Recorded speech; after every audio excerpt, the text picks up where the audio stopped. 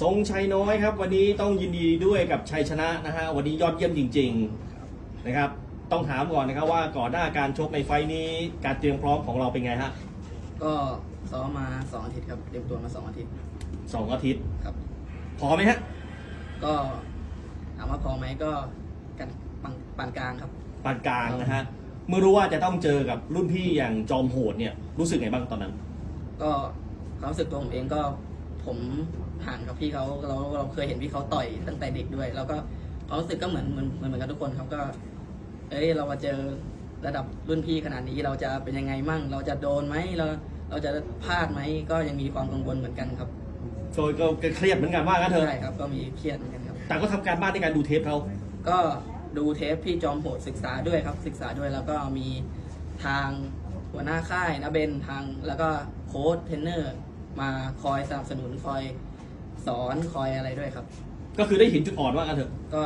ก็นิดหน่อยครับนะฮะครับ เพราะว่าเปิดเกมมานี่การดูดูคลิปแล้วก็ขึ้นมาชกจริงมันต่างกันเยอะไหมก็ถามว่าต่างกันเยอะไหมต่างกันเยอะครับ เพราะว่าการต่อยมวยของแต่ละ fight ทุกคนจะไม่เหมือนกันครับนะฮะยกแรกมาเปิดเกมยังไงเล่าให้ฟังนิดนึงยกแรกมาก็ ถามว่าเปิดเกมไหมก็อาจจะยังไม่เปิดเกมเท่าไหร่เพราะว่า ต่างคนต่างพลาดแล้วหมัดมาเป็นที่รู้กันว่าหมัดของพี่จอมโหดเขาคมด้วย อือหือ คมแล้วหนักมาก แล้วถ้าพลาดไปอะไรไปก็ มันก็ไม่ไม่ไม่ก็มีสิทธิ์น็อกได้ใช่ก็มีสิทธิ์น็อกได้ครับ อือหือจนกระทั่งยกที่สองยกเผด็จศึก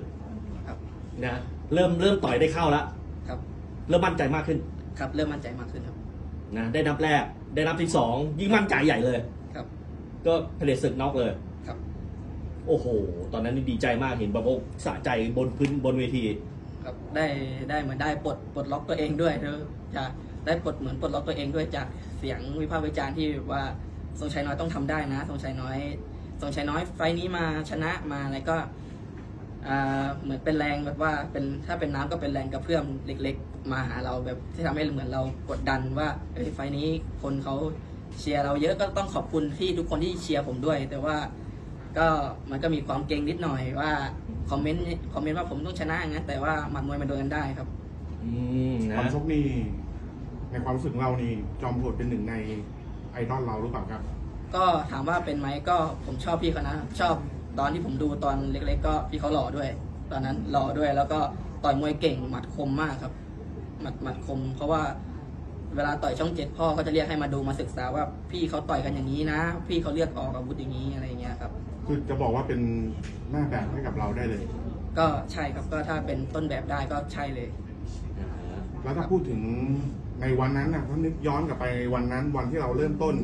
ชกมวยใหม่ ๆ เรามีความ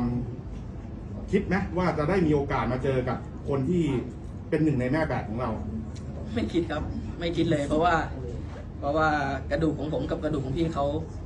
มันต่างกันมาก ถ้าต่อยกันจริงๆก็คงจะต่อยกันไม่ได้ เพราะชื่อชั้นชื่อเสียงพี่เขากระดูกพี่เขาผมไม่ถึงเลย ครับ แต่วันนี้ครับสิ่งที่คุณไม่เคยคิดมาก่อน มันก็ได้เกิดขึ้นมาแล้วแล้วคุณก็เอาชนะหนึ่งในแม่แบบของคุณได้ ครับ รู้สึกยังไงบ้างครับก็ถามว่าดีใจไหมดีใจครับดีใจมากที่ได้ชนะครับ ครับแล้วได้อีกสามได้อีกสามแสนห้านี่ครั้งที่หลายเรียกได้สามแสนห้าเนี่ย นี่เป็นครั้งที่สามครับ โอ้โหสามครั้งนะฮะครับ เอาตังค์ไปทำอะไรฮะ ก็ช่วยพ่อแม่นะครับ ช่วยพ่อแม่ใช้หนี้แล้วก็เอาเป็นทุนการศึกษาด้วยครับ ตอนนี้ยังเรียนอยู่ เรียนอยู่ครับ เรียนอยู่ที่ไหนฮะ เรียนอยู่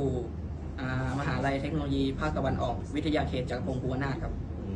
มนะมันจะดีใจกันหน้าดูแล้วว่างั้นนะครับ ฝากถึงแฟนคลับของทรงชัยน้อยหน่อยครับ ก็ขอบคุณแฟนคลับทุกทุกคนเลยครับ ทั้งอยู่หน้าจอทีวี แล้วก็ทั้งที่มาเชียร์ในสนาม ขอบคุณมากมากๆนะครับที่เป็นกำลังใจเชียร์ให้ผม ผมจะทำให้ดีที่สุดกับรายเวทีนี้ครับกับรายการนี้ผมจะทำให้ดีฝากติดตามเชียร์ผมด้วยนะครับขอบคุณครับ ขอบคุณมากครับครับ